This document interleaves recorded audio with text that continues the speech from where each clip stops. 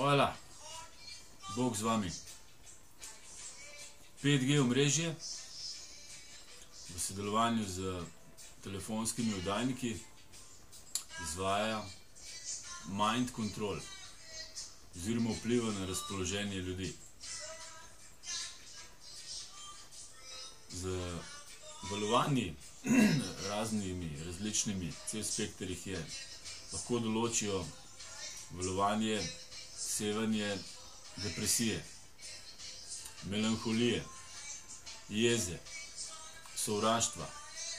Vso paleto čustev lahko oni s frekvencami, z valovanjem, elektromagnetnim sevanjem oddajajo in je približen tako, kot bi stali zraven zvočnika in poslušali Bob Marley. S tem, da vi ne slišite te glasbe, ampak čutite slabo počutje, bolečino v glavah, depresijo in takšne stvari. Preko vseh tehnologij, telefonov, vam povzročajo tumorje v glavah, tiste ženske pa moški, ki se pogovarjate po dve uri na dan, vam tumor v glavi ne ujde. To so vse znanstvene študije, dokazi. Jaz vam jih ne bom prepenal, si jih lahko poiščete sami v angleščini na spletu. Preko računalnika vam lahko povzročijo raka, tako kot se ga meni letos januarja, ko vam izpiše, da so motnje v povezavi na YouTubu, ko boš pogledati, koliko imaš uploada pa downloada, gre pol milijone. In takrat se tudi pržge ventilator v računalniku. In potem začne boleti v predelu trupa, oziroma tam, kam imate najbližji računalnik.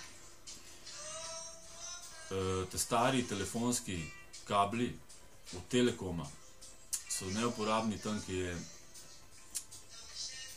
optični kabel, ampak ta star telefonski kabel uporabljajo za vohunjenje in za motenje signala preko ruterja, ker je preklopljen ruter.